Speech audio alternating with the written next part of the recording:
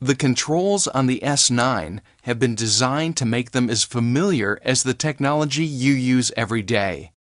They're so friendly, intuitive, and easy to use. They put you in control from the outset. From the Home menu, users can set their preferred air temperature simply. Turn the dial to highlight the Climate Control menu icon, then push. Turn the dial again to select your preferred temperature. Push the dial to confirm the new temperature setting. It's that simple. It's also very easy to adjust ramp time. Turn the dial to highlight the ramp menu icon, then push. Turn the dial to select the ramp time you want, then push the dial again to confirm the new setting. To start therapy, all it takes is one touch of the on-off button.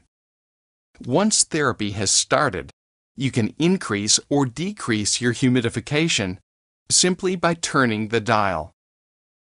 When you wake, push the on-off button again to stop therapy. Push the info button and you will see a readout of your night's sleep with your hours of usage recorded. These examples spell out just how user-friendly the simple controls of the S9 are. You're in control with the S9 series from ResMed.